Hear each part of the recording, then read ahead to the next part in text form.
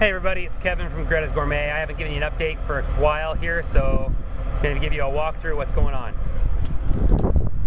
We've got our awning getting ready to be hung up on the wall.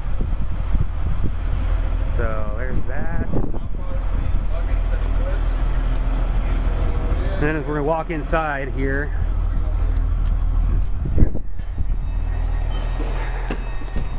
got the deli cases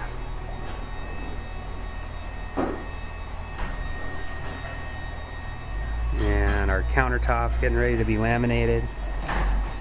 And we got our grab and go case here. Back up, see it. And our freezer. And then back in here. Kitchen equipment is in. Getting that all installed. Our sandwich area in the deli. Put the windows on our cutting room now. So, moving forward.